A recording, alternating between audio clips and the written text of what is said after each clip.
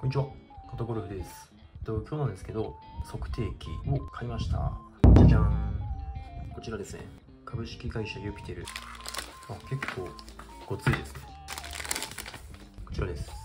Amazon で買いまして、だいたい1万ちょっとでしたかね、確か。すごいシンプルな感じで使いやすそうですね。そしたらまずは、こういうのあんま剥がすタイプではないんですけど、剥がしちゃいます。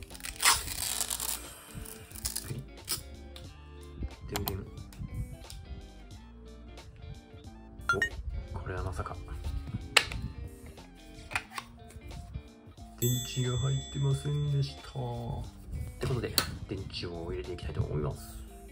こちら。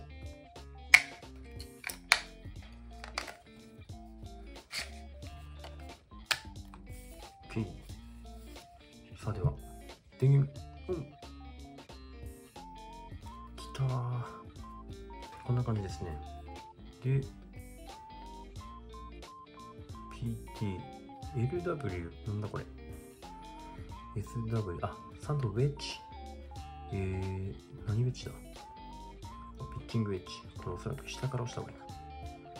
1番と3番と5番ウッド、7番と9番とユーティリティ2、3、4、5、6で、アイアン3番、4、5、6、7、8で、9の、で、ピッチングウェッジに入って、アプローチ、サンドウェッジ、これがわからない。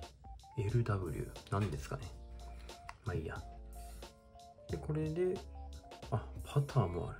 ポールスピード、飛距離。えー、すごいな。まずこれ上から、あ、もう書い書いてあるわ。ヘッドスピード、ボールスピード、飛距離、ミート率。ミート率分かるのいいな。使用方法は、本機をボールの後方約1から1.5メートルに置く。で、向きは、こう置いて、こっちでスイングするってことですね。なるほど。お、すごい。ナイスショット表示もある。じゃあこれ明日の朝ですね、ラウンドの前にちょっと練習するみたいなんで、その時に使っていこうと思います。1メーターぐらい。あその距離まあ1から1.5ぐらい。素振り言えば反応しちゃうから。あそうなんだヘ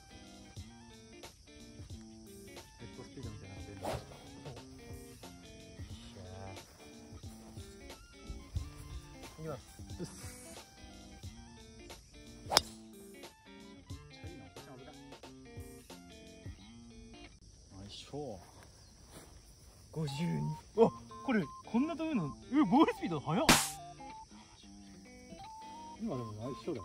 ね。ねうん。マジで。動画撮っててよかった。うん。